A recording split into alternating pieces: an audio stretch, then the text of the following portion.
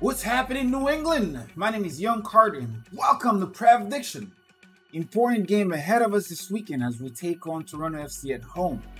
They've been doing a lot worse than us this season, but ever since they snatched up Insigne and Bernardeschi, they've been doing a lot better.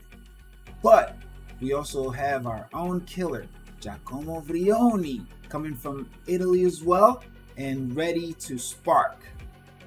Unfortunately, due to some minor injury, La Pantera is not going to join us this weekend. Very sad, but we will be okay.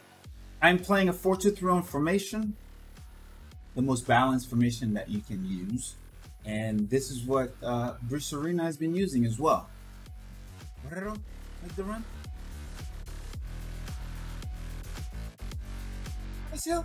Is that a goal? That's a goal, Lasso! Yes! Let's go! Jimenez is making a run by himself over there. He's about to cross, but we own him. Yes. Oh, what a golazo by Lorenzo Insigne. He's short and he's scoring headers. Half time we're going to see what Vrioni has in store for us. What else should I change? Everything's good. And let, later, I'm going to bring Boateng on for Lletget later. Vrioni! Vrioni! Vrioni! Oh! What a golazo! Come on with his left foot. Finger, finger, finger. Oh, this is going to be a show. This is gonna be a show. Beautiful.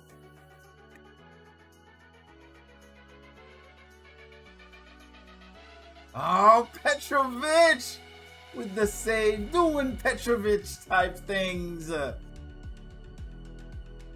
Let's make some changes. McNamara is very tired. Wow. Let's bring on my Polster. Lletget is gonna let Boateng in. Boateng's gonna go to the left. Borrero on the right. Let's get it. Ah, it is all over. It is all over. We took that lead. We just kept going hard at them. Based on the game I just played, I, I found it easy to get through them uh, in the midfield, go into the back line. Uh, they were very good threats on top uh, with Lorenzo Insigne and Bernardeschi. But other than that, it seemed kind of flawless in terms of us creating against them. We were able to create chances. Carles Gil was a hero, was a maestro in the ball. My prediction is going to be 4-2 Revs. Let's go Revs!